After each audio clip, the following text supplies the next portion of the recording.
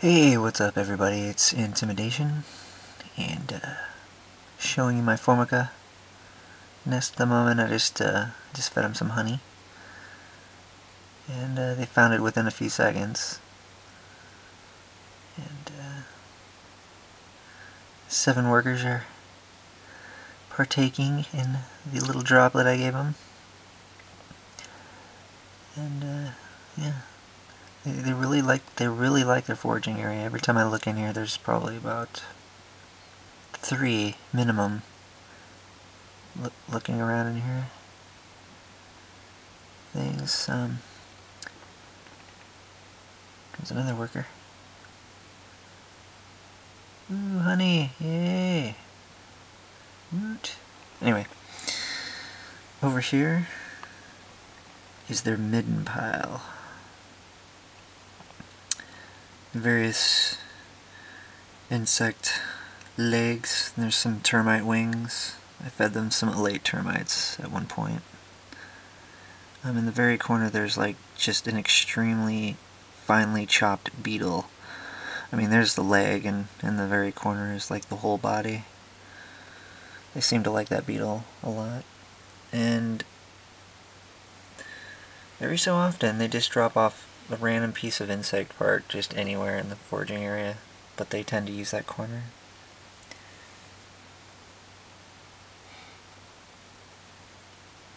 Here comes another worker.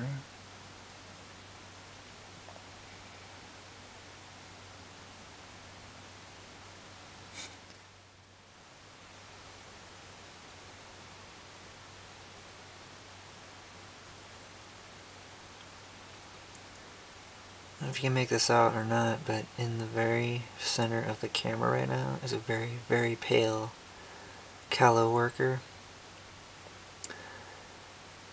that just recently closed. I just, uh, I've had five new workers in the last day or so, I would say.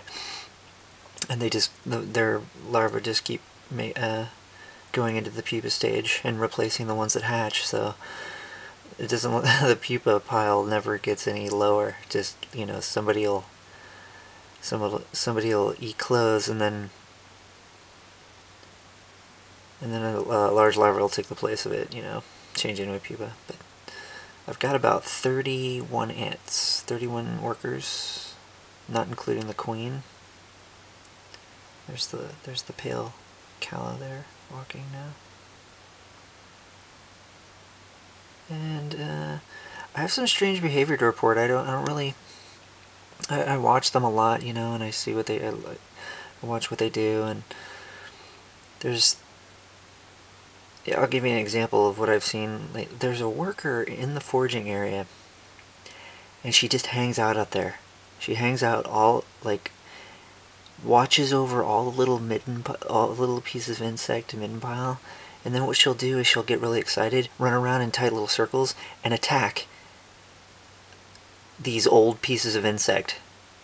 Just randomly. She'll just, and she'll, she'll bite it and then go, oh wait, okay, this is old, and then stop. Look around, constantly has her jaws open. And uh, sometimes she'll even drag back uh, old pieces of insect that they've already eaten and they'll munch on it some more and then she'll take it back again. She'll take it right back out to the she'll take it out to the midden pile and drop it off again you know? But uh, one particular worker does that so it's pretty it's pretty interesting. But yeah, there's a lot of uh, there's a lot of new workers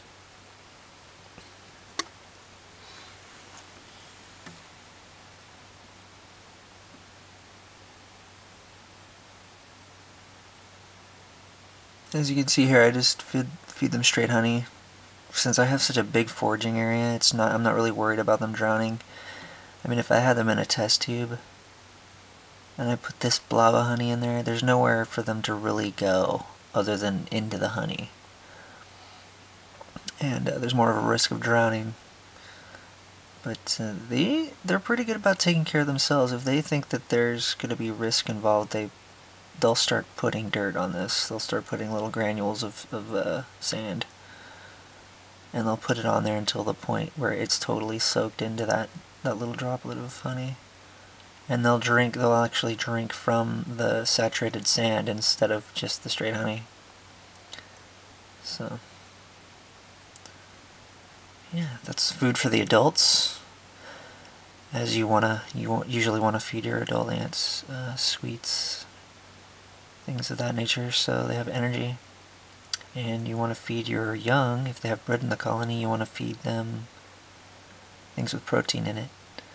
Like uh, the larvae are pretty much what needs to be fed constantly, so if you're ever keeping ants, just keep that in mind. Alright guys, that's it for the update. I'm out.